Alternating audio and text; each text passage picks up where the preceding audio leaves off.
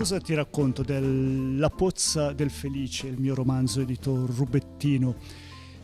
Beh, è un romanzo che, che ha toccato la corda dell'anima di tante persone, è stato tradotto in tedesco, in francese, in spagnolo e le risposte che io ricevo dal mondo germanofono, dal mondo francofono, dal mondo ispanico sono più o meno tutte le stesse. La gente si emoziona per la vita semplice e minimalista, ma così profonda del protagonista del mio romanzo, il felice. E chi è il felice? Eh, il felice è un anziano novantenne che vive in un paesino di montagna delle Alpi Ticinesi in Svizzera.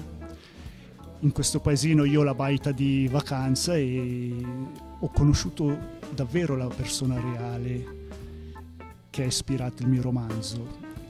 Il Felice è un, un, personaggio che lo si può definire un mistico, anche se un mistico non lo è. Eh, lo si può definire forse anche un filosofo, ma un filosofo non lo è. Lui è semplicemente una persona che vive nella sua silenziosa e taciturna esistenza felice e contento con se stesso. Quindi, avendo ricevuto, avendo raggiunto la felicità interiore, lui è distaccato e non ha bisogno di sapere quello che succede nel mondo, non ha bisogno perché non lo vuole, perché lo evita, non ha bisogno di stare al passo coi tempi che corrono. Lui sta bene nel suo piccolo minimalismo che si è costruito, è una persona che vive con poche cose, pochi oggetti, poche vere relazioni eh, sociali i pochi amici del paese, però relazioni profonde. E quindi forse, forse il successo di questo romanzo va anche a interpretarsi in questa maniera, perché in questo periodo così frenetico in cui tutta l'umanità è stata colpita da questa tragedia del, della pandemia, e tanti di noi hanno dovuto fare un passo indietro rallentare e, pensare veramente a quali sono le cose importanti nella vita.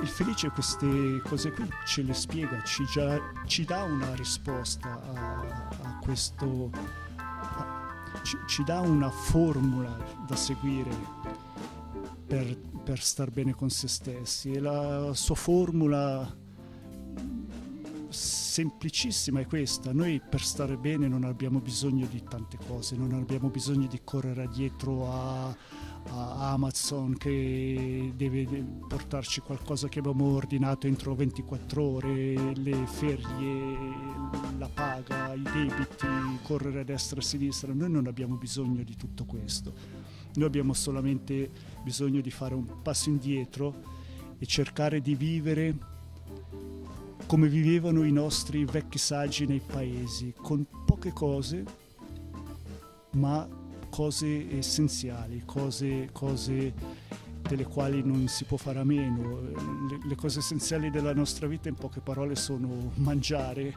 avere un tetto sopra, sopra la testa e alcune vere e sane relazioni con la gente che ci circonda. Tutto il resto è superfluo.